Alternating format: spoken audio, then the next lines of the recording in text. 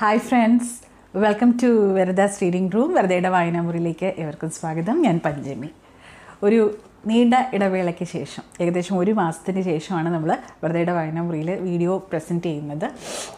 ഞാൻ പറഞ്ഞിരുന്നു കുറച്ച് ഹെൽത്ത് ഇഷ്യൂസ് കുറച്ച് യാത്രകൾ അങ്ങനെ കുറേ. ചിലരൊക്കെ ചോദിച്ചിരുന്നു കേട്ടോ അന്വേഷിച്ചവർക്കൊക്കെ ഒരുപാട് താങ്ക്സ് ഉണ്ട്. കാരണം നമ്മളെക്കുറിച്ച് കൺസേൺഡ് ആവാനായിട്ട് നമ്മുടെ സബ്സ്ക്രൈബേഴ്സിൽ ചിലരൊക്കെ ഒരുപാട് ശുഷ്കാന്തി കാണിച്ചു. വളരെ സന്തോഷം. എനിക്ക് അങ്ങനെ നമ്മളെ തിരക്കുന്നവരുണ്ട് അറിയുന്നതിൽ ഒരുപാട് സന്തോഷമുണ്ട് കേട്ടോ. അപ്പോൾ ഞാൻ അന്വേഷിച്ചവരോടൊക്കെ ഞാൻ കമന്റിൽ കൂടി തന്നെ റിപ്ലൈ തന്നിട്ടുണ്ടായിരുന്നു. അത് തന്നെയാണ് എല്ലാവരോടും പറയാനുള്ളത്. അപ്പോൾ ബ്രേക്ക് വരത്തരുത് എന്ന് എനിക്ക് ആഗ്രഹമുണ്ട്. എനിക്ക് വീഡിയോസ് കൺസിസ്റ്റന്റ് ആയിട്ട് ചെയ്യണം എന്നുണ്ട് പക്ഷേ പറ്റുന്നില്ല കേട്ടോ. ഇങ്ങനെ നമുക്കൊരു റീഡിങ്ങിലൊരു ബ്ലോക്ക് വരുന്നത് പോലെ തന്നെ ഐ മീൻ റൈറ്റേഴ്സ് ബ്ലോക്ക് എന്നൊക്കെ പറയത്തില്ലേ? അതുപോലെ റീഡിങ്ങിലും എനിക്കൊരു ബ്ലോക്ക് ഉണ്ടായി എന്നുള്ളതാണ് സത്യം. അതുപോലെ അപ്പോൾ നമുക്ക് റീഡിങ് മാത്രമല്ല നമുക്ക് കുറച്ച് റിവ്യൂസിന് വേണ്ടി റൈറ്റപ്പ് ഒക്കെ തയ്യാറാക്കി റെഡിയാക്കിയിട്ട് നമുക്ക് ക്യാമറയുടെ ഫ്രണ്ടിൽ വന്ന് ഇരിക്കാനുള്ള ആ ഒരു ഒരു ചെറിയൊരു ബ്ലോക്ക് പ്രത്യേകിച്ച് നമുക്ക് കുറച്ച് ഹെൽത്ത് ഇഷ്യൂസും കൂടെ വരുമ്പോൾ പിന്നെ നമ്മൾ കുറച്ചൊന്ന് ഇൻട്രോവേർട്ട് ആവും കുറച്ച് ദിവസത്തേക്ക്. അപ്പോൾ അതൊക്കെയാണ് അതിന്റെ കാരണങ്ങൾ എന്ന് പറയുന്നത് അപ്പോൾ പിന്നെയും ഞാൻ വിചാരിച്ചു ഇന്നിപ്പോൾ വേൾഡ് ബുക്ക് ഡേ ലോക പുസ്തക ദിനമാണ് അപ്പോൾ ഞാൻ ചോദിച്ചു ഇന്ന് പറ്റുമെങ്കിൽ ഒരു വീഡിയോ ചെയ്യണം എന്ന് വിചാരിച്ചു. ഈ വീഡിയോ നിങ്ങളുടെ മുമ്പിൽ ഏപ്രിൽ ട്വന്റി തേർഡിന് തന്നെ അതായത് വേൾഡ് ബുക്ക് ഡേയുടെ അതേ അന്നേ ദിവസം തന്നെ എത്തുമെന്ന് വിചാരിക്കുന്നു. അല്ലെങ്കിൽ അത് അടുത്ത ദിവസം പോസ്റ്റ് ചെയ്യും. അപ്പം ഡിപ്പെൻസ് അപ്പോൾ ഇന്നത്തെ ദിവസത്തിലേക്കായിട്ട് ഞാൻ തയ്യാറാക്കി വെച്ചിരിക്കുന്നത് അല്ലെങ്കിൽ പ്രസന്റ് ചെയ്യുന്നത് സുഭാഷ് ചന്ദ്രന്റെ സമുദ്രശിലയാണ് നോവൽ സമുദ്രശില. അപ്പം നോവലാകുമ്പോൾ നമുക്ക് സമ്മറി എന്ന് തന്നെ പറയാം. സമ്മറി പറയാമെന്ന് വിചാരിക്കണം? അല്ലെങ്കിൽ ഒരു റിവ്യൂ എന്നോ സമ്മറി എന്നോ പറയാം. അപ്പോൾ ഞാൻ ഏറ്റവും ഒടുവിൽ വായിച്ച പുസ്തകമാണ്. അതിനുശേഷം ആക്ച്വലി ആക്ച്വലി സമുദ്രശില വായിച്ചിങ്ങനെ അതാണ് എന്റെ മനസ്സിൽ കൊണ്ട് നടക്കുന്നത്. അതിനുശേഷം അങ്ങോട്ടൊന്നും വായിച്ചില്ല എന്നുള്ളതാണ്. അപ്പോൾ സമുദ്രശില സുഭാഷ് ചന്ദ്രൻ. അപ്പോൾ സുഭാഷ് ചന്ദ്രൻ എന്ന് കേൾക്കുമ്പോൾ എനിക്ക് എന്റെ മനസ്സിൽ ആദ്യം വരുന്നത് ഞാൻ ഈ നമ്മുടെ വെരദാസ് റീഡിംഗ് റൂമിൽ തന്നെ പ്രസന്റ് ചെയ്ത എന്താണ് ഇതാണ് മറ്റൊരു ചെറുകഥയുണ്ട് അദ്ദേഹത്തിന്റെ ഉരുളക്കിഴങ്ങ് തിന്നുന്നവർ. അപ്പോൾ അത് വളരെ എന്താ പറയുക നമുക്ക് ദുഃഖമുളവാക്കുന്ന ഒരു ചെറുകഥയാണ് അതായത് നമുക്കത് അതിന്റെ ഓരോ വരിയിലും ഇങ്ങനെ ദുഃഖം തളം കെട്ടി നിൽക്കുന്ന ഒരു പുസ്തകമായിരുന്നു. ഒരു നോ ചെറുകഥയായിരുന്നു അതെ. അപ്പോൾ അത് വായിക്കുന്ന വേളയിലും അതെ ഞാനും ഒരുപാട് സ്ട്രെസ് അനുഭവിച്ചാണ് അതിന്റെ ഒരു റിവ്യൂ ചെയ്തത്. കാരണം നമുക്ക് എന്താ പറയുക അത്ര അത്രയേറെ നമ്മളെ വിഷമിപ്പിക്കുന്ന ഒരു സ്റ്റോറിയായിരുന്നു. അത് വിൻസെന്റ് വാഗോവിന്റെ പൊട്ടേറ്റോ ഈറ്റേഴ്സ് എന്നുള്ള ഒരു കൃതി മീൻസ് ആ ഒരു ചിത്രം. ആ ചിത്രത്തെ ചിത്രത്തിന്റെ ഒരു ഇൻഫ്ലുവൻസിൽ നിന്നും ഉണ്ടായ ഒരു സ്റ്റോറിയാണ് ഷോർട്ട് സ്റ്റോറിയാണ് ഒരു ഒരു ക്ലാസിക് ഷോർട്ട് സ്റ്റോറി തന്നെയാണെന്ന് വേണം പറയാനായിട്ട് അത് അത് അതിന്റെ റിവ്യൂ ഞാൻ ഇട്ടിട്ടുണ്ടായിരുന്നു മുഴുവനായിട്ട് വായിച്ചിട്ടുണ്ടായിരുന്നു. ഞാനതിന്റെ ഡിസ്ക്രിപ്ഷൻ ഡിസ്ക്രിപ്ഷൻ ബോക്സിൽ തന്നെ ലിങ്ക് ഇട്ടേക്കാം കേട്ടോ. അപ്പോൾ അതിന് ശേഷമാണ് ഈ സമുദ്രശില. സമുദ്രശില നോവലാണ്. അപ്പോൾ നമുക്ക് വലിയ എക്സ്പെക്റ്റേഷൻസ് ആണ് സുഭാഷ് ചന്ദ്രൻ. അതായത് എന്താ പറയുക അദ്ദേഹത്തിന്റെ മനുഷ്യന് ഒരു ആമുഖം എന്നുള്ള പുസ്തകം. അതും നമ്മളെ പിടിച്ചിരുത്തുന്ന പുസ്തകമാണ്. അപ്പോൾ അതിന്റെ ഓതറാണ് സുഭാഷ് ചന്ദ്രൻ. അപ്പോൾ അത്തരത്തിൽ ഒരു പുസ്തകം വായിക്കുന്ന ആ അത്രയും എക്സ്പെക്റ്റേഷനോട് കൂടിയാണ് നമ്മൾ സുഭാഷ് ചന്ദ്രനെ എപ്പോഴും നോക്കിക്കാണുന്നത് അങ്ങനെ സമുദ്രശില വായിച്ചപ്പോൾ ഞാൻ കരുതിയിരുന്നത് ഈ മനുഷ്യനൊരു ആമുഖം ആണ് സുഭാഷ് ചന്ദ്രന്റെ ഏറ്റവും മികച്ച നോവൽ എന്ന് കരുതി. പക്ഷേ ഇപ്പോൾ ഇത് വായിച്ചപ്പോൾ അതായത് സമുദ്രശില വായിച്ചപ്പോൾ സമുദ്രശിലയാണ് ഏറ്റവും അദ്ദേഹത്തിന്റെ ഏറ്റവും മികച്ച നോവൽ എന്നുള്ള ഒരു കൺക്ലൂഷനിലെത്തി. കാരണം ഇപ്പോൾ മനസ്സ് നിറയെ സമുദ്രശിലയാണ്. ഒരുപക്ഷെ അത്രയ്ക്ക് എന്താണ് റിച്ച് ആയിട്ടുള്ള ഒരു വായന അനുഭവമാണ് സമുദ്രശില സമ്മാനിക്കുന്നത്. അപ്പോൾ അതുകൊണ്ട് തന്നെ നമുക്ക് ഇന്നത്തെ ചർച്ച സമുദ്രശിലയും ഈ സമുദ്രശിലയിലെ ക്യാരക്ടേഴ്സും എന്താണ് സമുദ്രശില പറയുന്നതും അതൊക്കെയാണ് നമ്മുടെ ഇന്നത്തെ ചർച്ച. ഓക്കെ അപ്പോൾ സമുദ്രശില. സമുദ്രശിലയിലെ ഏറ്റവും വളരെ നോട്ടബിൾ ആയിട്ടുള്ള ഒരു കാര്യമെന്ന് പറയുന്നത് അത് ഒരു എപ്പിക്കൽ ഊന്നി ഉള്ളതാണ്. അതായത് നമ്മുടെ ഒരു എപ്പിക് എന്ന് പറയുമ്പോൾ മഹാഭാരതം മഹാഭാരതത്തിലെ ഒരു ക്യാരക്ടറിൽ ഊന്നിയാണ് കഥ നോവൽ ആരംഭിക്കുന്നത്. അത് ആ ഒരു ത്രെഡ് ഏറ്റവും നോവൽ അവസാനിക്കുന്നത് വരെയും ആ ത്രെഡ് നിലനിർത്താൻ കഥാകൃത്തിന് കഴിഞ്ഞിട്ടുണ്ട്. അപ്പം മഹാഭാരതത്തിൽ എന്നാണ് ഒരു ആൺതുണ ഇല്ലാതെ പോയ അത് ഞാൻ കോട്ടാണ് അതായത് സുഭാഷ് ചന്ദ്രനാഥന്റെ വരിയാണ്. ആൺതുണ ഇല്ലാതെ പോയ ഒരേ ഒരു സ്ത്രീ കഥാപാത്രം അമ്പ രണ്ടാം ജന്മത്തിൽ തന്റെ രണ്ടാം ജന്മത്തിൽ ശിഖണ്ഡിയായി ജനിച്ച് ഭീഷ്മരുടെ മരണം ഉറപ്പുവരുത്തിയ അംബ. അതായത് ആ അമ്പയുടെ കഥയിൽ നിന്നാണ് ആ അമ്പ ആത്മഹത്യ ചെയ്യാൻ പോകുന്നതിന് മുൻപായിട്ട് മഹാഭാരതം രചിച്ച എന്താണ് വേദവ്യാസൻ അദ്ദേഹത്തെ കാണാൻ ചെല്ലുന്നതും രണ്ട് ചോദ്യം രണ്ട് പ്രധാനപ്പെട്ട ചോദ്യങ്ങൾ മഹാഭാരതത്തിലെ ക്യാരക്ടേഴ്സിന് മഹാഭാരതത്തിലെ അതായത് എഴുതാൻ പോക പോകുന്ന മഹാഭാരതത്തെക്കുറിച്ച് രണ്ട് ചോദ്യങ്ങൾ ഉന്നയിക്കുന്നതുമായിട്ടാണ് കഥ ആരംഭിക്കുന്നത്. അപ്പോൾ അതുകൊണ്ടാണ് ഞാൻ പറഞ്ഞത് മഹാഭാരതത്തിലെ ഒരു ക്യാരക്ടറിൽ നിന്ന് നമ്മൾ നമുക്ക് അറിയാം മഹാഭാരതത്തിലെ മറ്റ് പല കഥാപാത്രങ്ങളെയും എന്താണ് ഇൻഫ്ലുവൻസ് കൊണ്ടിട്ട് ഉൾക്കൊള്ളിച്ചുകൊണ്ട് മറ്റ് നോവലുകൾ മലയാള സാഹിത്യത്തിൽ ഉണ്ടായിട്ടുണ്ട്. പക്ഷേ ഇത് വളരെ വ്യത്യസ്തമായിട്ടുള്ള ഒരു ട്രീറ്റ്മെന്റാണ് അപ്പോൾ അമ്പ അവിടെയാണ് ആദ്യമായിട്ട് അമ്പ ഈ നോവലിൽ ജനിക്കുന്നത്. ഈ നോവലിലെ ഒരു കഥാപാത്രമായിട്ട് സൃഷ്ടിക്കപ്പെടുന്നത്. ഈ സൃഷ്ടി എന്നുള്ളത് അപ്പോൾ ഈ കഥ ഈ നോവൽ തന്നെ മൂന്നായിട്ടാണ് ഡിവൈഡ് ചെയ്തിരിക്കുന്നത്. സൃഷ്ടി സ്ഥിതി സംഹാരം എന്ന് പറഞ്ഞാണ്. സൃഷ്ടി സ്ഥിതി സംഹാരം. അപ്പോൾ അതൊരു എന്താ പറയുക ഒരു നോവലിസ്റ്റിനെ സംബന്ധിച്ചിടത്തോളം കഥാപാത്ര സൃഷ്ടിയുണ്ട് അതിന്റെ സ്ഥിതിയുണ്ട് ഒടുവിൽ ആ കഥാപാത്രങ്ങളുടെ ഒരു കൺക്ലൂഷൻ ഉണ്ട് സംഹാരമുണ്ട്. അപ്പോൾ അങ്ങനെ അതായത് ശരിക്കും ഒരു ഒരു നോവലിന്റെ സൃഷ്ടിയിലൂടെ കടന്നു പോകുന്നതും അതിന്റെ വേദനയും അതിന്റെ സംഹാരവും അതിലൂടെ അതിന്റെ ഒരു സഞ്ചാരവും ഒക്കെയാണ്. അതിന്റെ ഒരു വ്യഥയാണ്. ഒരു എഴുത്തിന്റെ വ്യഥയും കൂടി കഥാകാരൻ ഈ ഒരു നോവലിൽ പറയുന്നുണ്ട്. അതിനോടൊപ്പം തന്നെ ഞാൻ ഈ പറഞ്ഞ മഹാഭാരതത്തിലെ ഈ ഒരു ക്യാരക്ടറിനോട് അനുബന്ധിച്ചിട്ടുള്ള ഒരു കാര്യത്തിൽ തുടങ്ങി.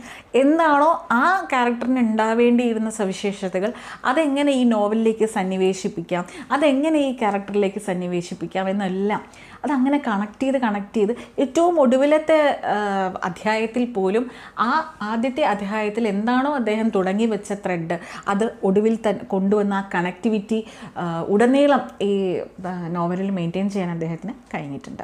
അപ്പോൾ ഞാൻ നമുക്ക് ഇനി ഇതിന് ഇത്രയും വിശദീകരിക്കുമ്പോഴും എന്താണ് നോവലെന്ന് ഞാൻ പറഞ്ഞില്ല അല്ലേ? അപ്പോൾ അമ്പയിൽ നിന്ന് തുടങ്ങാം. അമ്പ വ്യാസനോട് വന്നിട്ട് രണ്ട് കാര്യങ്ങൾ ചോദിക്കുന്നുണ്ട്. അതായത് അങ്ങ് മഹാഭാരതം എഴുതാൻ തുടങ്ങുകയാണല്ലോ. അപ്പോൾ തുടങ്ങുമ്പോൾ ഇതുവരെ തുടങ്ങിയിട്ടില്ല. അപ്പോൾ തുടങ്ങുമ്പോൾ ഇതിൽ അങ്ങ് ഞാൻ കേട്ടിട്ടുണ്ട് അല്ലെങ്കിൽ ഞാൻ മനസ്സിലാക്കുന്നു എന്താണ് മറ്റൊരിടത്തും എഴുതപ്പെടാത്ത ഒരു വൈരി.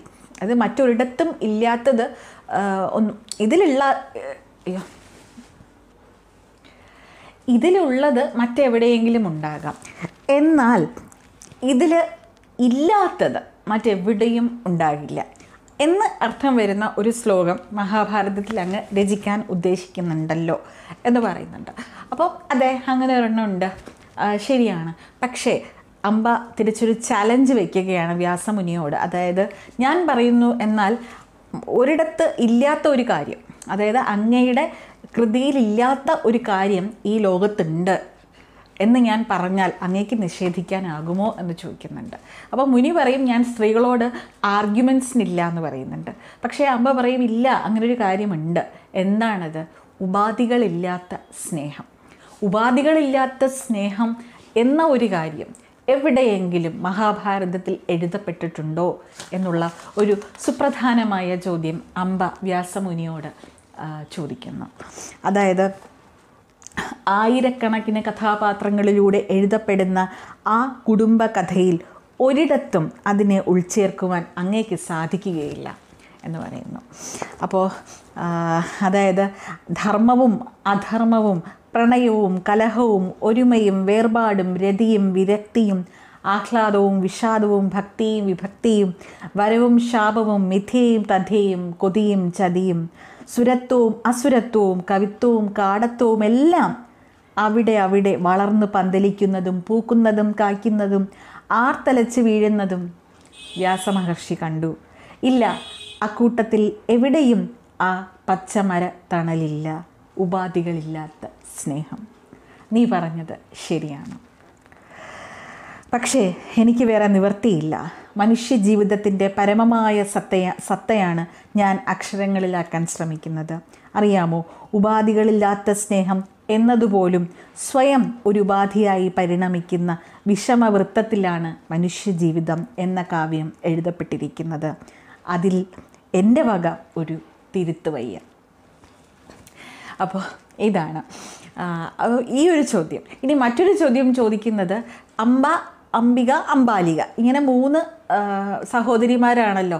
മൂന്ന് സഹോദരിമാരെയാണ് ഭീഷ്മർ വിത്രവീരന് വിവാഹം ചെയ്യാനായിട്ട് കൊണ്ടുചെല്ലുന്നത്. അപ്പോൾ അതിൽ അമ്പ മാത്രം എന്ത് ചെയ്യുന്നു? തനിക്ക് മറ്റൊരു രാജകുമാരനെ ഇഷ്ടമാണെന്ന് പറഞ്ഞ് അതിൽ നിന്നും പിന്മാറുകയാണ് അല്ലേ? പക്ഷേ ആ രാജകുമാരൻ അമ്പയെ തിരസ്കരിക്കുന്നുണ്ട്. പക്ഷെ തിരിച്ച് തിരിച്ചു വരുന്ന അമ്പയെ ഭീഷ്മരൊട്ട് സ്വീകരിക്കുന്നതുമില്ല. അങ്ങനെയാണ് അമ്പ എന്താണ് അമ്പ എല്ലാരാലും തിരസ്കരിക്കപ്പെടുന്നത് അങ്ങനെയാണ് അല്ലേ? അമ്പ എന്താണോ അതായി തീർന്നത് ഈ തിരസ്കരണത്തിലൂടെയാണ്. രണ്ട് പുരുഷന്മാരാൽ തിരസ്കരിക്കപ്പെട്ട അമ്പയാണിത്. അപ്പോൾ അമ്പ ഒരു കാര്യം ചോദിക്കുന്നു ഒരു സാധ്യത ചോദിക്കുന്നുണ്ട് അമ്പ. അങ്ങയുടെ വൈരൂപ്യം കണ്ട് കണ്ണടച്ച അംബികയ്ക്ക് പിറന്നത് അന്ധനായ പുത്രൻ. പേടിച്ച് വിളറിയ അമ്പാലികയ്ക്ക് പാണ്ഡുരവർണൻ. അങ്ങനെയാണെങ്കിൽ അങ്ങയിൽ നിന്ന് ഒരു പുത്രനെ സ്വീ ഞാനും സ്വീകരിച്ചു എന്ന് കരുതൂ. എങ്കിൽ നമുക്ക് പിറ പിറന്നേക്കാവുന്ന സന്തതി ആരായിരിക്കും? അംബികയുടെയും അംബാലികയുടെയും മക്കൾക്കെന്ന പോലെ എന്റെ കുഞ്ഞിന് വന്ന് ഭവിക്കുമായിരുന്ന ന്യൂനത എന്തായിരിക്കും? പറയൂ. ഭാർഗവരാമൻ എനിക്ക് തന്നത് ഭാവി കാണാനുള്ള വരം മാത്രമാണ്. വരം മാത്രമാണ്. സാധ്യതകൾ കാണാൻ അതിൽ കണ്ണില്ല. അപ്പോൾ അതൊരു വലിയ സമസ്യയായിരുന്നു. കൃഷ്ണദ്വൈപായനൻ അഥവാ വ്യാസ മഹർഷിക്ക് മുന്നിൽ. അല്ലേ? ഇതിഹാസത്തിൽ താൻ ഉൾപ്പെടുത്തിയിട്ടില്ലാത്ത ഒരു കഥാപാത്രത്തെ സങ്കല്പിക്കാൻ അതിലെ മറ്റൊരു കഥാപാത്രം ആവശ്യപ്പെടുന്ന വിചിത്രമായ ഒരു സന്ദർഭം. പക്ഷേ അതിന് ഉത്തരം കൊടുക്കണം. കാരണം എന്താണ് അമ്പ ആത്മഹത്യക്ക് തൊട്ട് മുന്നേ വന്ന് ചോദിക്കുന്ന ചോദ്യമായതുകൊണ്ട് തന്നെ ഇതിന് ഉത്തരം കൊടുക്കണമെന്ന് കരുതിയിട്ട് പറഞ്ഞു. എന്താണ് സ്വേച്ഛയോടെ ആയിരിക്കില്ല നീ എന്നെ പ്രാപിക്കുന്നത് എന്നതിനാൽ പിറക്കേണ്ടത് സ്വേച്ഛയോടെ കൈകാലുകൾ പോലും ചലിപ്പിക്കാൻ കഴിവില്ലാത്ത ഒരു മകൻ. അവിടെ അമ്പയുടെ കഥ ആരംഭിക്കുകയാണ്. അപ്പോൾ ഇതിഹാസത്തിലെ പെൺബാധിയായ ശിഖണ്ഡിയായല്ല ഭാരതഖണ്ഡത്തിൽ ഒരു സ്ത്രീയായി തന്നെ വീണ്ടും വീണ്ടും ജനിക്കൂ അമ്പ. ഓരോ ജന്മത്തിലും ഇതിഹാസത്തിൽ നീ സൂചിപ്പിച്ച ആ ഇല്ലായ്മ ഉപാധികളില്ലാത്ത സ്നേഹം ഭൂമിയിൽ നിലനിൽക്കുന്നുണ്ടോ എന്ന് തിരഞ്ഞുകൊണ്ട് ജീവിക്കൂ. എന്റെ അനന്തരഗാമികളായ എഴുത്തുകാരെ കണ്ടെത്താൻ ഇടയാകുന്നുവെങ്കിൽ അവരോടും തിരക്കൂ. ഉപാധികളില്ലാത്ത സ്നേഹം. ഇത് ജീവിതത്തിലോ സത്യസന്ധമായ സാഹിത്യത്തിലോ കണ്ടുകിട്ടുകയാണെങ്കിൽ നമുക്ക് വീണ്ടും കാണാമെന്ന് ബാദരായണൻ വ്യാസൻ മാമുനിക്ക് മത്സ്യഗന്ധിയിൽ സ്നേഹത്തിന്റെ ഉപാധികളില്ലാതെ പിറന്ന പുത്രൻ നിനക്കിതാ വാക്ക് തരുന്നു. അങ്ങനെ ചിതകൾ താണ്ടി വീണ്ടും അമ്പ നടന്നുകൊണ്ടേയിരുന്നു. ആ അമ്പ നടന്നു കയറുന്നത് സുഭാഷ് ചന്ദ്രന്റെ സമുദ്രശില എന്ന നോവലിലെ ഒരു കഥാപാത്രമായിട്ടാണ്. പിന്നെ അങ്ങോട്ട് സുഭാഷ് ചന്ദ്രന്റെ നോവലിലെ അമ്പ എന്ന ഒരു നാൽപ്പത് വയസ്സിനോട് അടുപ്പിച്ച ഒരു സ്ത്രീയായിട്ടാണ് നമുക്ക് എന്താണ് യുവതി എന്ന് പറയാൻ പറ്റില്ല നാൽപ്പത് വയസ്സുകാരിയായിട്ടുള്ള അമ്പ എന്ന യു എന്ന- ലേഡിയായിട്ടാണ് സുഭാഷ് ചന്ദ്രൻ നോവലിൽ പിന്നീട് അങ്ങോട്ട് അമ്പ അവതരിക്കുന്നത്. ആ അമ്പയിൽ ആ അമ്പയ്ക്ക് സിദ്ധാർത്ഥൻ എന്ന ഭർത്താവിൽ ജനിക്കുന്ന സ്വേച്ഛയാൽ കൈകാലുകൾ ചലിപ്പിക്കാൻ വയ്യാത്ത പുത്രൻ. ആ പുത്രന്റെ പേര് അനന്തപത്മനാഭൻ അഥവാ അപ്പു എന്ന് വിളിക്കുന്ന അനന്തപത്മനാഭൻ. അപ്പോൾ ആ പയ്യന് ആ പയ്യനന്റെ പ്രശ്നം ഈ സ്വേച്ഛയാൽ കൈകാലുകൾ ചലിപ്പിക്കാൻ വയ്യാത്ത അമ്പയ്ക്കും സിദ്ധാർത്ഥനും ജനിച്ച് ആ പുത്രൻ അപ്പുവിന്റെ പ്രശ്നം രോഗം എന്ന് പറയുന്നത് ഡോക്ടേഴ്സിന്റെ ടെക്നോളജിയിൽ പറയുകയാണെങ്കിൽ സെറിബ്രൽ പാൾസി മാത്രം സെറിബ്രൽ പാൾസിയും ഓട്ടിസ്റ്റിക് ഡിസോർഡറും ഇപ്പോൾ cerebral palsy with autistic disorder അത് ഏവർക്കും അറിയാവുന്ന പ്രശ്നമാണ്. അപ്പം സെറിബ്രൽ പാൾസി മാത്രമല്ല ഓട്ടിസവും ഉണ്ട്. അപ്പോൾ രണ്ടും കൂടി ചേർന്ന ഒരു അവസ്ഥ. അതായിരുന്നു ആ പയ്യന്റെ അവസ്ഥ. അപ്പോൾ നമ്മുടെ ഈ കഥ നടക്കുന്ന സമയത്ത് ഈ പയ്യനൊരു ഇരുപത്തി ഇരുപത്തൊന്ന് ഇരുപത്തൊന്ന് വയസ്സ് ഇരുപത്തൊന്ന് ഇരുപത്തിരണ്ട് വയസ്സുള്ള പയ്യനാണ്. താടിയും മീശയും ഒക്കെ ഉള്ള ഒരു യുവാവാണ് അമ്പയുടെ മകനായ അപ്പു. അമ്പയ്ക്ക് അമ്മയുണ്ട്. അമ്മയുടെ പേര് ചന്ദ്രിക എന്നാണ് കേട്ടോ. അപ്പോൾ ചന്ദ്രിക ടീച്ചർ അതായത് മലയാളം അധ്യാപികയാണ് ചന്ദ്രിക ടീച്ചർ. അപ്പോൾ ചന്ദ്രിക ടീച്ചർ ബാലചന്ദ്രൻ ദമതികളുടെ പുത്രിയാണ് അം- അമ്പ ഒറ്റ മകളാണ് അപ്പോൾ അമ്പ മലയാള ബിരുദാനന്തര ബിരുദധാരിയാണ്. അമ്പ അമ്പയെ വിവാഹം ചെയ്യുന്നതാണ് സിദ്ധാർത്ഥൻ. അവരുടെ ദാമ്പത്യം അവരുടെ ദാമ്പത്യം വളരെ കുറച്ച് നാളുകൾ. കുറച്ച് നാളുകൾ എന്ന് പറഞ്ഞാൽ ഒരു അൻപത് മാസം. അത് അമ്പയുടെ തന്നെ വാക്കുകളിൽ പറയുകയാണെങ്കിൽ ഒരു നാല് നാലര കൊല്ലം മാത്രം നീണ്ടു നിന്ന ദാമ്പത്യമായിരുന്നു. വളരെ എന്താണ് പറയുക കല്ലുകടികളുള്ള ദാമ്പത്യം. അതിന്റെ പ്രധാന കാരണം തന്നെ ആരായിരുന്നു? മകനായ അപ്പു. കാരണം ഇങ്ങനെ ഒരു cerebral palsy with autistic disorder ഉള്ള ഒരു കുട്ടി വൈകല്യങ്ങളുള്ള കുട്ടി ഫിസിക്കലി ചലഞ്ച്ഡ് ആയിട്ടുള്ള ഒരു കുട്ടി ജനിക്കുന്നതോടുകൂടി സ്വാഭാവികമായിട്ട്. അതൊരു വലിയൊരു ആസ്പെക്റ്റാണ് സുഭാഷ് ചന്ദ്രൻ ഈ നോവലിലൂടെ കാണിച്ചു തരുന്നത്. കാരണം ഈ പ്രശ്നമുള്ള ഒരു കുട്ടി അതായത് ഇങ്ങനെ ഒരു ഫിസിക്കൽ ഡിസബിലിറ്റി ഫിസിക്കൽ ഡിസബിലിറ്റി മാത്രമല്ല ഒരു മെന്റൽ ഡിസബിലിറ്റി പോലെയാണ് അല്ലേ അങ്ങനെ വരുന്ന ഒരു പ്രശ്നം വരുന്ന കുട്ടികളുള്ള ഒരു കാര്യം ഉള്ള പ്രശ്നം എന്ന് പറഞ്ഞാൽ അവർ ദമ്പതികൾ തമ്മിൽ എപ്പോഴും അതായത് ഒരു സെൽഫ് ബ്ലെയിമിങ് അങ്ങോട്ടും ഇങ്ങോട്ടും ഉണ്ടാവും. എന്താടാ നീ ജന്മം കൊടുത്തത് ഇത്തരത്തിലൊരു കുട്ടിക്ക് നിന്നെ എന്തെങ്കിലും പ്രശ്നം കൊണ്ടായിരിക്കും എന്നൊക്കെയുള്ള തരത്തിലുള്ള ബ്ലെയിം അങ്ങോട്ടും ഇങ്ങോട്ടും വരും. അപ്പോൾ ഇവിടെ ഒരു ഈ ദാമ്പത്യത്തിൽ ഈ ഭർത്താവിന് കൂടുതൽ സിദ്ധാർത്ഥൻ കുറച്ച് ഈഗോയിസ്റ്റിക് ആയിരുന്നു കുറച്ചല്ല വളരെയധികം ഈഗോയിസ്റ്റിക് ആണ്. ഒരു അത്തരത്തിലൊരു വ്യക്തി കുറച്ച് ഡോമിനന്റ് ആയിട്ടുള്ള ഒരു വ്യക്തി ആയിരുന്നതുകൊണ്ട് തന്നെ ഈ പഴി മുഴുവനും ഈ ബ്ലെയിം മുഴുവനും ഭാര്യയുടെ പുറത്താണ് വെച്ചിരുന്നത്. അമ്മായിയമ്മയും അത്തരത്തിലായിരുന്നു എന്ന് പല സന്ദർഭങ്ങളിൽ പറയുന്നുണ്ട്. അപ്പോൾ അതുകൊണ്ട് തന്നെ ഈ ദാമ്പത്യം അധികം നീണ്ടു നിന്നില്ല. അങ്ങനെ ഉപാധികളില്ലാത്ത സ്നേഹത്തോടു കൂടി ഈ കുട്ടിയെ പരിചരിക്കാൻ ഈ അമ്മയ്ക്ക് മാത്രമേ കഴിഞ്ഞുള്ളൂ. അപ്പോൾ അപ്പു എന്ന ഈ കുട്ടി സ്പെഷ്യൽ ചൈൽഡാണ് അല്ലേ അപ്പോൾ സ്പെഷ്യൽ ചൈൽഡിനെ നോക്കാനായിട്ട് ഒരു സ്പെഷ്യൽ മദറിന് മാത്രമേ സാധിക്കുകയുള്ളൂ. അതുകൊണ്ട് തന്നെ എന്താ നോവലിസ്റ്റ് പറഞ്ഞു വെക്കുന്നത് ഈ ഈശ്വരൻ സ്പെഷ്യൽ മദേഴ്സിനെയാണ് സൃഷ്ടിക്കുന്നത്. എന്തിനാണ്? ഇത്തരം കുഞ്ഞുങ്ങളെ ഇങ്ങനെയുള്ള അമ്മമാർക്ക് മാത്രമേ ഈശ്വരൻ കൊടുക്കുകയുള്ളൂ. കാരണം അത്തരത്തിലുള്ള അമ്മമാർക്ക് മാത്രമേ കുട്ടി ഇങ്ങനെയുള്ള കുഞ്ഞുങ്ങളെ സ്നേഹിക്കാനും പരിപാലിക്കാനും കഴിയുകയുള്ളൂ. ഉപാധികളില്ലാത്ത സ്നേഹം ഈ കുഞ്ഞുങ്ങൾക്ക് കൊടുക്കാൻ ഇത്തരത്തിലുള്ള സ്പെഷ്യൽ മദേഴ്സിനെ കഴിയുള്ളൂ. സോ സ്പെഷ്യൽ മദേഴ്സിനാണ് സ്പെഷ്യൽ കിഡ്സിനെ കൊടുക്കുന്നത് സ്പെഷ്യൽ ചിൽഡ്രനെ കൊടുക്കുന്നത്. അപ്പോൾ ഒരിക്കൽ പോലും അതിൽ ദുഃഖിക്കേണ്ടതില്ല എന്നുള്ള രീതിയിലാണ് നോവലിസ്റ്റ് പറഞ്ഞു വെക്കുന്നത്. പക്ഷേ ഈ അമ്മയോ അതെ അമ്പയോ അമ്പയുടെ എല്ലാ ഇഷ്ടങ്ങളും സാഹിത്യ അഭിരുചികൾ എഴുത്തിന്റെ അഭിരുചികൾ എല്ലാം മാറ്റി വെച്ചാണ് ഈ കുഞ്ഞിനെ നോക്കുന്നത്. അതിനോടൊപ്പം തന്നെ ഭർത്താവ് ഭർത്താവ് പിരിഞ്ഞു പോയതിന് ശേഷം അമ്മ ആണ് ഒപ്പം നിൽക്കുന്നത്. അമ്മ ഒപ്പം നിൽക്കുമ്പോഴോ അമ്മയുടെ കാര്യങ്ങളും നോക്കണം അമ്മയ്ക്കൊരു അപകടം സംഭവിച്ചിട്ട് അമ്മ ബെഡ്രിഡനാവുന്നുണ്ട്. അങ്ങനെ ഈ സുഖമില്ലാത്ത അമ്മ കിടപ്പിലായ അമ്മയും അതുപോലെ അതിലേറെ കിടപ്പിലായ മകനെയും നോക്കേണ്ട ഒരു സ്ഥിതിവിശേഷം. അമ്പയ്ക്കുണ്ടാകുന്നു എന്നുള്ളതാണ്. അപ്പോൾ അതൊരു വലിയ ഒരു പ്രതിസന്ധി. അതായത് ഈ ഈ ക്യാരക്ടർ രൂപീകരണത്തിനോടൊപ്പം തന്നെ സ്ഥിതി സൃഷ്ടി സ്ഥിതി അതിലോട്ട് വരികയാണ് നമ്മുടെ നോവലിന്റെ ഒരു ഒഴുക്കെന്ന് പറയുന്നത്. അപ്പോൾ ഇത് ഈ ഒരു ദാമ്പത്യത്തിലെ വിള്ളലുകൾ ഉണ്ടാവുക എന്നുള്ളത് ജനറലൈസ് ചെയ്ത് പറയുവാണെങ്കിൽ എല്ലായിടത്തും ഉള്ളൊരു പ്രശ്നമാണ് സ്പെഷ്യൽ കിഡ്സുള്ള എല്ലാ ഫാമിലീസിലും ദമ്പതികൾ തമ്മിലുള്ള പ്രശ്നം. സമന്വയത്തിൽ പോകാൻ വലിയ ബുദ്ധിമുട്ടുള്ളതാണ് സ്പെഷ്യൽ ചിൽഡ്രനുള്ള ദമ്പതികളുടെ ഇടയിലുള്ള പ്രശ്നം. അതൊരു വലിയ ഒരു സോഷ്യൽ റെലവൻസ് ഉള്ള ഒരു കാര്യം. അത് സുഭാഷ് ചന്ദ്രൻ നോവലിലൂടെ പുറത്തു കൊണ്ടുവരുന്നു എന്നുള്ളതാണ്. അത് വളരെ സിഗ്നിഫിക്കന്റ് ആയിട്ടുള്ള ഒരു കാര്യം തന്നെയാണ്. പിന്നീട് മറ്റൊരു കാര്യം എന്ന് പറയുന്നത് ഇതിനിടയിൽ ഈ സാഹിത്യ അഭിരുചിയുള്ള ഒരു നല്ല ഒരു നാൽപ്പതുകാരിയായ വീട്ടമ്മ വീട്ടമ്മയല്ല എന്താ പറയുക ഒരു ലേഡിയാണ് നമ്മുടെ പ്രധാന കഥ കഥാപാത്രമായിട്ടുള്ള അമ്പ പക്ഷേ അത്തരത്തിലുള്ള സ്ത്രീകളെ ചൂഷണം ചെയ്യാൻ ചെയ്യുന്ന ചില കള്ളനാണയങ്ങൾ നമ്മുടെ സമൂഹത്തിലുണ്ട്. അങ്ങനെ ഒരു കള്ളനാണയത്തെയും സുഭാഷ് ചന്ദ്രൻ ഇതിൽ കാണിക്കുന്നുണ്ട്.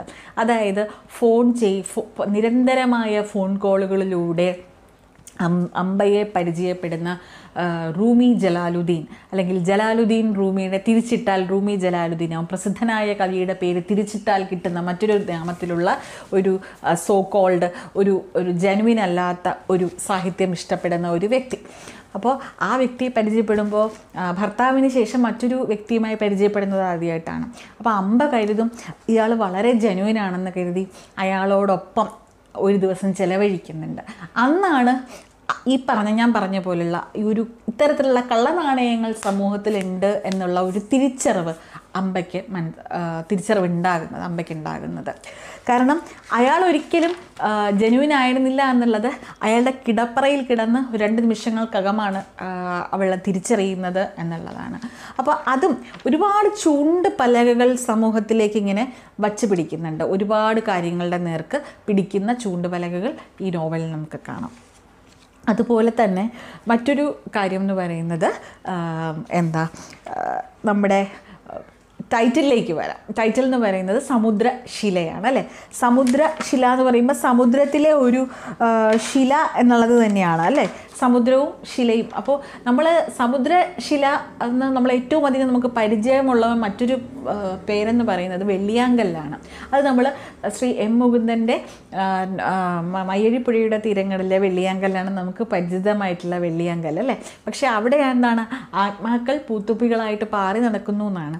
പക്ഷേ ഇവിടെ ആത്മാക്കളല്ല ശരീരങ്ങളായി തന്നെ അമ്പ അമ്പയുടെ പ്രണയിതാവിനോടുകൂടി പോയിട്ടുണ്ട്. കാമുവിനോടൊപ്പം അവിടെ പോയിട്ടുള്ളതായിട്ടും അത് വളരെ മനോഹരമായിട്ടുള്ള ഒരു അനുഭവമായിട്ട് ഒരു ഒരു മുഴുവൻ ചാപ്റ്ററായിട്ട് തന്നെ മുഴുവനായിട്ട് ഉൾക്കൊള്ളിച്ചുകൊണ്ട് വളരെ മനോഹരമായിട്ട് സുഭാഷ് ചന്ദ്രൻ ഇതിൽ എഴുതിയിട്ടുണ്ട്. അപ്പോൾ അതിൽ പറയുന്നുണ്ട് സുഭാഷ് ചന്ദ്രൻ തന്നെ ക്യാരക്ടറായിട്ട് ഈ പുസ്തകത്തിലുണ്ട് കേട്ടോ. അപ്പോൾ വളരെ പ്രധാനപ്പെട്ട ഒരു ക്യാരക്ടറായിട്ട് അപ്പോൾ സുഭാഷ് ചന്ദ്രൻ തന്റെ ഒരു യാത്രാ വിവരണത്തിൽ വെള്ളിയാങ്കലിനെ പറ്റി എഴുതിയിട്ടുണ്ട്. അപ്പോൾ അത് അമ്പ വായിക്കുന്നതായിട്ടും തിരിച്ച് അമ്പ സുഭാഷ് ചന്ദ്രൻ ലെറ്റർ എഴുതുന്നതായിട്ടും ഉണ്ട്. എന്താണ്? താങ്കൾ കണ്ട താങ്കൾ കാണുന്നതിന് എത്രയോ മുമ്പ് ഞാൻ എന്റെ പ്രണയിതാവിനോടൊപ്പം അവിടെ പോയിരിക്കുന്നു എന്ന് പറഞ്ഞ് കത്തെഴുതുന്നുണ്ട്. അപ്പോൾ അത്തരത്തിലാണ് നമ്മൾ സമുദ്രശില എന്നല്ലെങ്കിൽ അവയെ പരിചയപ്പെടുന്നത്. അല്ലെങ്കിൽ എന്താണ്? ദ സാക്രിഫൈസ് സ്റ്റോൺ എന്ന് പറഞ്ഞ് പരിചയപ്പെടുത്തുന്നത് അവിടെയാണ്. അത് അത് ബലിക്കല്ല് എന്നുള്ളതിനെ പറ്റിയും സമുദ്രശിലയെ പറ്റിയും ഒക്കെ വെവ്വേറെ ചാപ്റ്റേഴ്സായിട്ട് തന്നെ വളരെ വിശദമായിട്ട് ഇതിൽ പറയുന്നുണ്ട്. പിന്നെ എന്താണ്? പിന്നെ വളരെ അത് നമുക്ക് ആ സമുദ്രശിലയെ പറ്റി ഒരു നല്ലൊരു വരിയുണ്ട്. അത് ഞാൻ ഏറ്റവും ഒടുവിലായിട്ട് പറയാൻ മാറ്റി വെച്ചിരിക്കുകയാണ് കേട്ടോ. പിന്നെ മറ്റൊരു വളരെ പ്രധാന ഈ കഥ ഇങ്ങനെ തുടർ തുടർന്നു കൊണ്ടുവരുമ്പോൾ ഈ ബർത്ത്ഡേ ഗിഫ്റ്റായിട്ട് മകൻ എന്താണ് വേണ്ടതെന്ന് ചോദിക്കുമ്പോൾ മകൻ പലപ്പോഴും പറയുന്നത് എനിക്ക് കല്യാണം കഴിക്കണം എന്നാണ് പറയുന്നത്.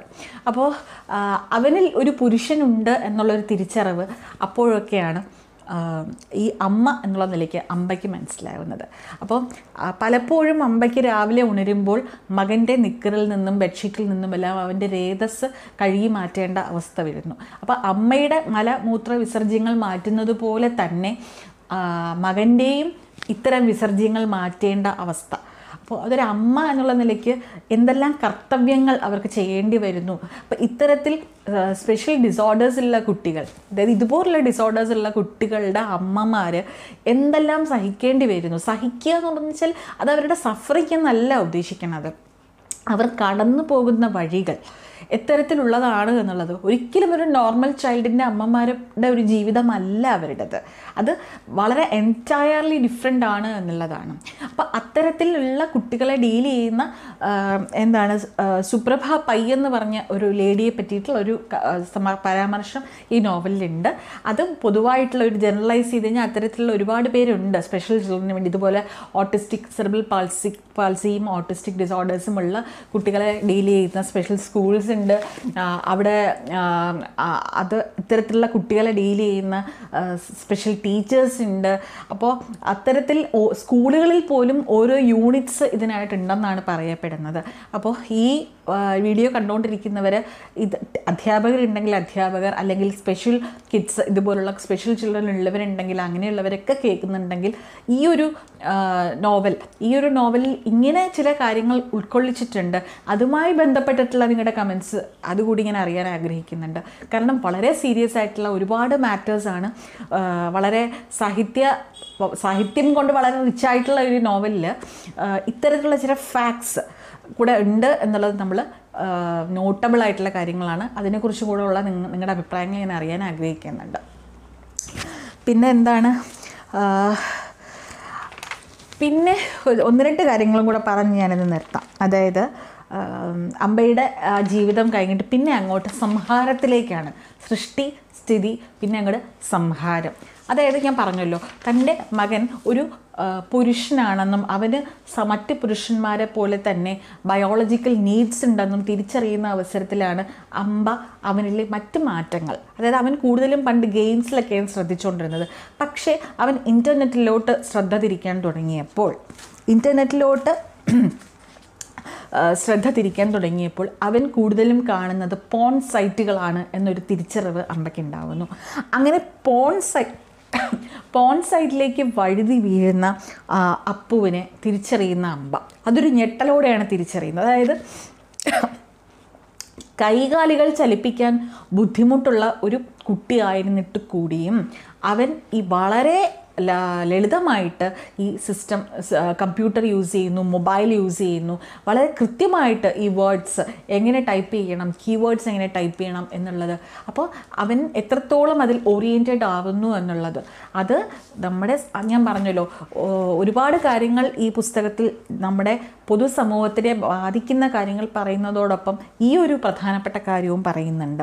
അതായത് വീട്ടിലിരിക്കുന്ന കുഞ്ഞുങ്ങളിലേക്ക് പോലും ഈ ലോകത്തിലെ മുഴുവൻ അഴുക്കുകളും വന്ന് അടിയുവാനുള്ള എല്ലാ സൗകര്യങ്ങളുമുള്ള ഒരു കാലത്താണ് നമ്മൾ ജീവിക്കുന്നത് എന്നുള്ള ഒരു പരമമായ സത്യം ഇവിടെ വിളിച്ചു പറയുകയാണ് സുഭാഷ് ചന്ദ്രൻ. അമ്പയിലൂടെ അപ്പുവിലൂടെ. ഇതുപോലെ സെറിബ്രൽ പാൾസി ബാധിച്ച ഒരു പയ്യൻ ഇരുപത്തിയൊന്ന് വയസ്സുകാരനായ പയ്യൻ എങ്ങും പോകാത്തൊരു പയ്യൻ ലോകം കാണാത്ത പയ്യൻ തന്റെ കയ്യിലിരുന്നു കൊണ്ട് പോൺ സൈറ്റുകൾ കാണുന്നു എന്നുള്ളത്. അത് കണ്ട് അവൻ നിർവൃതി അടയുന്നു എന്നുള്ള ആ ഒരു സത്യം. അപ്പോൾ അങ്ങനെയാണെങ്കിൽ മറ്റുള്ളവരുടെ സ്ഥിതി എന്തായിരിക്കും എന്നുള്ളത്. അത് അതായത് മകനായി നടിക്കുന്ന ചെറിയ ആൺകുട്ടികളുമൊത്ത് വികൃ വികൃത വികൃത രീതിയിലുള്ള വികൃത രതികളിൽ മുഴുകുന്ന വീഡിയോസാണ്. അതായത് അമ്മയുടെ പ്രായമുള്ള തന്റെ അമ്മയെ മാത്രമേ അവന് പുരുഷ അമ്മയായിട്ട് സ്ത്രീയായിട്ട് കണ്ടിട്ടുള്ളൂ. അപ്പോൾ ആ പ്രായത്തിൽ മകനും മകന്റെ പ്രായമുള്ള സ്ത്രീകൾ മകൻ അമ്മ ആ അത്രയും ഏജ് ഡിഫറൻസിലുള്ളവർ തമ്മിലുള്ള വികൃതമായ രതികളിൽ മുഴുകുന്ന വീഡിയോസ് ഈ പയ്യൻ കാണുന്നത് അത് അമ്പയിലെ അമ്മയെ വല്ലാതെ ഞെട്ടിക്കുന്നുണ്ട്. അപ്പോഴാണ് തന്റെ മകന് അതിനനുസരിച്ചുള്ള ഒരു ശിക്ഷ കൊടുക്കണം. അതായത് ഇവനെ ഇനി എങ്ങനെയാണ് മാനേജ് ചെയ്യേണ്ടതെന്ന് അവർക്ക് അറിയാൻ പറ്റുന്നില്ല. അതെല്ലാ ഇത്തരത്തിലുള്ള കുട്ടികളെ പലർക്ക് ആർക്കെങ്കിലും ഇത് നേരിട്ട് ഇങ്ങനെയുള്ള കുട്ടികളെ അറിയാമെങ്കിൽ അല്ലെങ്കിൽ നേരിട്ട് അത്തരത്തിലുള്ള അമ്മമാരുണ്ടെങ്കിൽ അച്ഛന്മാരുണ്ടെങ്കിൽ കമന്റ് ചെയ്യണം കേട്ടോ. കാരണം അത്തരത്തിൽ പ്രശ്നങ്ങൾ നേരിടുന്ന ഒരുപാട് പേരുണ്ട്. ഇതൊരു കെട്ടുകഥയായിട്ട് തോന്നില്ല. അങ്ങനെ അറിയാമെങ്കിൽ നേരിട്ട് അറിയാമെങ്കിൽ ഇതൊരിക്കലും ഒരു കെട്ടുകഥയല്ല. പലരും ഞാൻ ഇത് നെറ്റി ചുളിച്ചേക്കാം പലരും പക്ഷേ അങ്ങനെയല്ല കേട്ടോ. ഇത് ഇത്തരത്തിൽ അമ്മയെ ആ രീതിയിൽ കണ്ടുപോകുന്ന മകൻ എന്നുള്ള നിലയ്ക്ക് ആ മകന് ആ പാപത്തിനൊരു ശിക്ഷ കൊടുക്കണം എന്ന് ഈ അമ്മ തീരുമാനിക്കുകയാണ്. അതാണ് ഈ നോവലിലെ സംഹാരത്തിലേക്ക്. കഥാകൃത്ത് എന്ന നിലയ്ക്ക് കഥാകൃത്തിനും ഈ രണ്ട് കഥാപാത്രത്തിന് അതായത് അമ്പയ്ക്കും അപ്പുവിനും ഈ അമ്പ അമ്പയെയും അപ്പുവിനെയും സംഹരിക്കാൻ നോവലിൽ അവരെ രണ്ടുപേരെയും നോവലിൽ നിന്നും ഇറക്കി വിടാനുള്ള സമയമായിരിക്കുന്നു എന്ന് കഥാകൃത്തിനും മനസ്സിലാകുന്നു അതുപോലെ തന്നെ അമ്പയ്ക്കും മനസ്സിലായി തന്റെ പുത്രന് അവന്റെ പാപത്തിന്റെ ശിക്ഷ കൊടുക്കണമെന്നുള്ള ഒരു തിരിച്ചറിവുണ്ടാകുന്നു. അപ്പോൾ അങ്ങനെ അവൾ തീരുമാനിക്കുന്ന എന്താണ്? അവൻ ആഗ്രഹിക്കുന്ന പാപവും അത് അതിന് അർഹിക്കുന്ന ശിക്ഷയും അവന് നൽകണം. അത് രണ്ടും ഒപ്പം ഒരേ സമയം നിർവഹിക്കണം എന്ന് തീരുമാനിക്കുന്നു. അങ്ങനെ ആണ് അവന്റെ ഭക്ഷണത്തിൽ വിഷം കലർത്തി കൊടുക്കുന്നു. എന്നിട്ട് എന്ത് ചെയ്യുന്നു? അവന് രതിമൂർച്ചയും മൃത്യുമൂർച്ചയും ഒരേ സമയം നൽകിക്കൊണ്ടാണ് അവനെ അവസാനിപ്പിക്കുന്നത്. എന്നിട്ട് അമ്പയും സ്വയം ഒടുങ്ങിത്തീരുകയാണ്. അതേ ഭക്ഷണം കഴിച്ച് തന്നെ അമ്പയും സ്വയം ഒടുങ്ങുന്നു. അങ്ങനെയാണ് ഈ നോവൽ അവസാനിക്കുന്നത്. നമുക്ക് തോന്നാം ഇതൊരു പോസിറ്റീവ് നോട്ടിലല്ല എൻഡ് ചെയ്തിരിക്കുന്നതെന്ന് തോന്നാം. പക്ഷെ ഒരിക്കലും അങ്ങനെയല്ല. അത് കഥാന്ത്യം അങ്ങനെയാണ്. നോവലിൽ നിന്നും എന്താണ് തന്റെ ഈ രണ്ട് കഥാപാത്രങ്ങളെ ഇറക്കി വിടുന്നു എന്ന് മാത്രം കരുതിയാൽ മതി എന്ന് ഞാൻ വിചാരിക്കുന്നുള്ളൂ. കാരണം അത്തരത്തിലുള്ളൊരു ശിക്ഷ ഒരു പണിഷ്മെന്റാണ് അമ്മ മകന് നൽകുന്ന ഒരു പണിഷ്മെന്റായിട്ടാണ് ഒടുവിൽ അത് കാണിച്ചിരിക്കുന്നത്. ഇത് ഒരു സ്പെഷ്യൽ അത് മാത്രവുമല്ല അമ്മയ്ക്ക് ക്യാൻസർ രോഗം ഡിറ്റക്റ്റ് ചെയ്യുന്നുണ്ട്. അപ്പോൾ ഒരു നാല് മാസത്തേക്കും കൂടി അവരുടെ ആയുസ് പറയുന്നുള്ളൂ ഡോക്ടർ അപ്പോൾ ഉപാധികളില്ലാത്ത സ്നേഹം തനിക്കല്ലാതെ മറ്റൊരാൾക്കും മറ്റൊരു വ്യക്തിക്കും ലോകത്ത് തന്റെ മകന് നൽകാനാവില്ല എന്നൊരു തിരിച്ചറിവ് കൂടി അമ്മയ്ക്കുണ്ട്. അതുകൊണ്ട് തന്നെ ഉപാധികളില്ലാത്ത സ്നേഹം തന്നെ ഉപാധിയായി മാറ്റുകയാണ് ഇവിടെ അമ്പ ആ ഒരു ഉപാധിയാണ് മകന് വിധിച്ച മരണശിക്ഷ. ആ ഒരു ഉപാധിയാണ് അവൾ സ്വയം വിധിച്ച മരണശിക്ഷ. ആ ഉപാധികളില്ലാത്ത സ്നേഹം അപ്രകാരമാണ് എന്താണ്? അത് തന്നെ ഒരു ഉപാധിയായിട്ട് തീർന്നത്. അങ്ങനെയാണ് നോവൽ അവസാനിക്കുന്നത്. അപ്പോൾ ഇത്തരത്തിലാണ് നമ്മുടെ സമുദ്രശില എന്നുള്ള നോവൽ. ഓർമ്മകളുടെയും സങ്കല്പങ്ങളുടെയും അനന്തമായ മഹാസമുദ്രം അതിനു നടുവിൽ യാഥാർത്ഥ്യത്തിന്റെ ഒരു ശിലാകൂടം. അതാണ് സമുദ്രശില. അപ്പോൾ ഈ ഒരു നോവലിന്റെ സമ്മറി അല്ലെങ്കിൽ റിവ്യൂ എന്ന് ഞാൻ പറയുന്നില്ല. ഇതാണ് ഈ നോവലിന്റെ ഞാൻ മനസ്സിലാക്കിയത് ഇപ്രകാരമാണ്. ഇത് വായിച്ചിട്ടുള്ളവർ നിങ്ങൾ മനസ്സിലാക്കിയത് എന്താണ്? അതിൽ നിങ്ങളുടെ അഭിപ്രായങ്ങൾ എന്താണ്? ഞാൻ ഈ പറഞ്ഞതിനോട് യോജിക്കുകയോ വിജയിക്കുകയോ ഞാൻ പറഞ്ഞല്ലോ ഇങ്ങനത്തെ ഈ ഞാൻ ഉന്നയിച്ച ചില സീരിയസ് ആയിട്ടുള്ള ഇഷ്യൂസ് ഭാര്യ ഭർത്തൃബന്ധം കുട്ടിയുമായിട്ടുള്ള ബന്ധം ഇത്തരത്തിലുള്ള കാര്യങ്ങൾ ഈ രോഗം ബാധിച്ച കുട്ടികളെക്കുറിച്ചുള്ള ഇഷ്യൂസ് ഇതിനെക്കുറിച്ചൊക്കെയുള്ള നിങ്ങളുടെ അഭിപ്രായങ്ങൾ കമന്റ് ബോക്സിൽ പറയണം. പിന്നെ എന്താണ് ഇതിൽ എനിക്ക് ഏറ്റവും ഇഷ്ടപ്പെട്ട ഒരു വരി ആ വരിക്ക് ഞാൻ ശ്രീ സുഭാഷ് ചന്ദ്രനോട് തന്നെ കടപ്പെട്ടിരിക്കുന്നു. അദ്ദേഹത്തോട് നന്ദി പറയുന്നു. ആ വരി എന്ന് പറയുന്നത് അത് ഏതൊരു സ്ത്രീയെയും ബഹുമാനിക്കുന്ന ഈ ഒരു എഴുത്തുകാരന്റെ വരിയാണ്. ആ വരി എന്ന് പറയുന്നത് സ്ത്രീയാണ് പുരുഷനേക്കാൾ വലിയ മനുഷ്യൻ. സോ ഞാൻ ഇത് പറഞ്ഞുകൊണ്ട് ഈ വീഡിയോ ഇവിടെ അവസാനിപ്പിക്കുകയാണ്. എത്രയും വേഗം മറ്റൊരു വീഡിയോ ആയിട്ട് കാണാം. അതുവരെ bye from Varadas reading room.